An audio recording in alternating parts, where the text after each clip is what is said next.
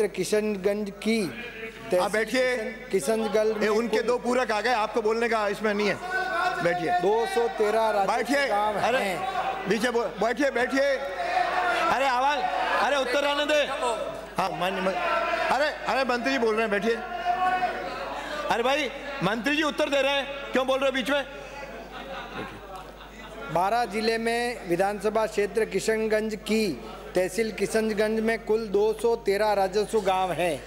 राजस्व गाँव की अधिसूचना दिनांक पहले से। 18 एक 2021 में से एक गाँवों को ऑनलाइन अधिसूचित किया जा चुका है।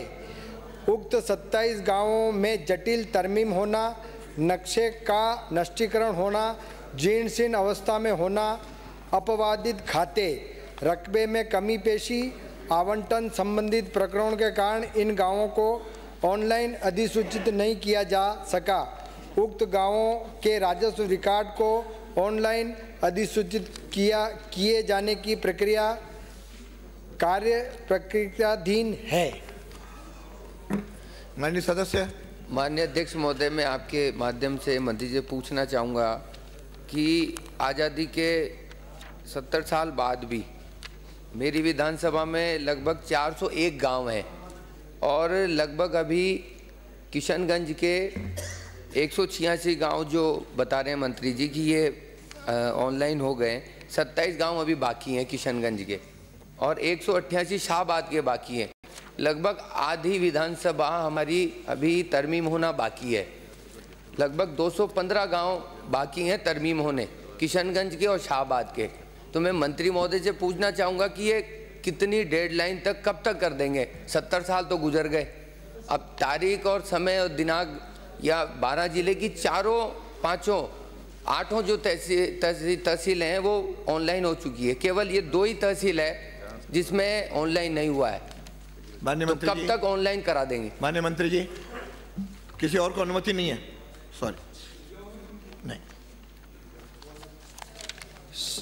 शाहबाद तहसील शहरिया जनजाति बाहुल्य क्षेत्र है।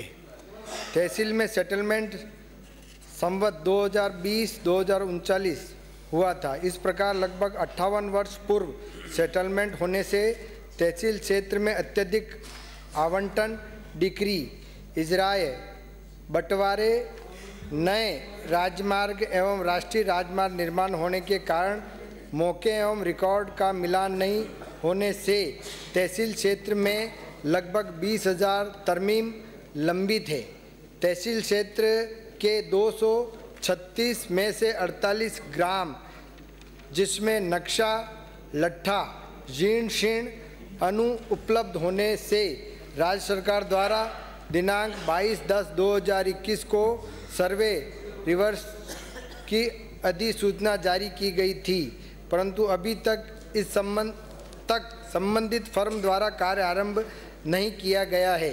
इन 48 ग्रामों में पाँच हज़ार नौ सौ इक्याणु तरमीमें लंबित है। शेष एक सौ इक्यासी गाँवों में वर्तमान में तीन हज़ार एक सौ अस्सी तरमीमें लंबित है, जिसका मुख्य कारण भू प्रबंधन नहीं होना है।